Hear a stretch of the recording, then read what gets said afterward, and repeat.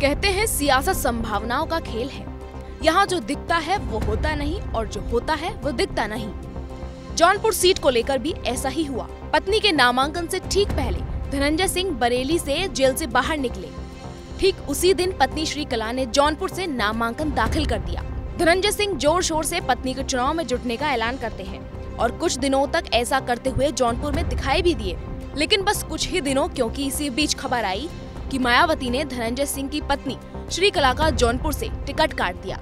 हालाँकि तभी इस बात की चर्चा थी कि धनंजय सिंह ने ही पत्नी का नाम वापस करवाया है। और अब तस्वीर साफ़ हो गई है।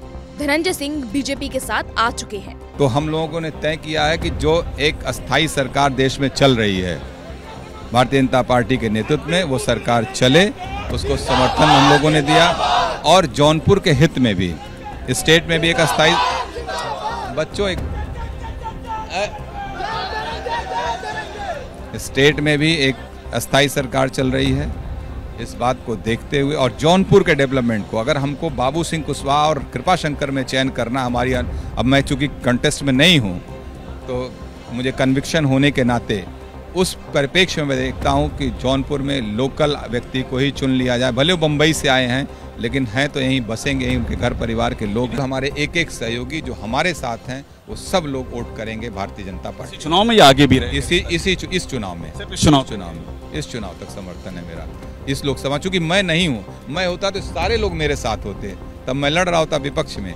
आज मैं नहीं हूँ तो मैं मोदी जी योगी जी के साथ हूँ। अब जबकि धनंजय सिंह बीजेपी के साथ हैं, तो सवाल पत्नी के टिकट कटने के पीछे साजिश वाले उनके बयान पर भी सवाल उठना लाजमी है।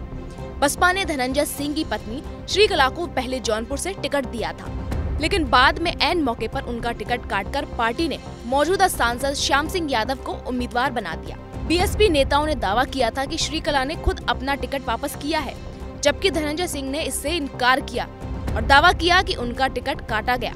अकेला धनंजय सिंह का इशू इसलिए बन गया कि चर्चा ज़्यादा थी इस चुनाव की। तो इसलिए यहाँ पे दलित हमारे साथ बहुत है।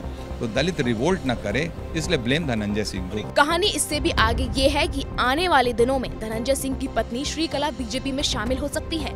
लेकिन धनंजय सिंह ने साफ़ कर दिया है कि ये फैसला उनकी पत्नी श्रीकला का होगा और उन्हें इससे कोई ऐतराज नहीं है। श्रीकला जी से आप पूछ लीजिएगा चूँकि तो भारतीय जनता पार्टी में उन्होंने काम किया है। हो सकता है। पार्टी अगर उनको अप्रोच करेगी तो उनका विचार है। आपको कोई ऐतराज उसमें नहीं नहीं ना पहले भी नहीं था मुझे। आज भी नहीं मुझे कोई ऐतराज है। मैं अपनी राजनीति कर रहा हूँ इंडिपेंडेंट मैं आप इंडिपेंडेंट बिल्कुल।